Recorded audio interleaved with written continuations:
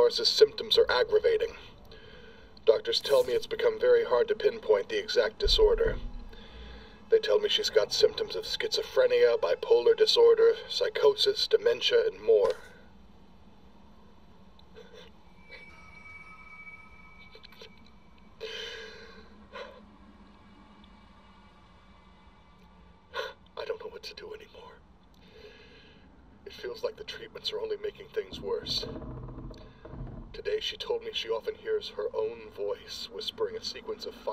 through the baby monitor.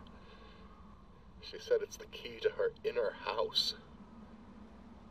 What does that even mean? What am I supposed to do?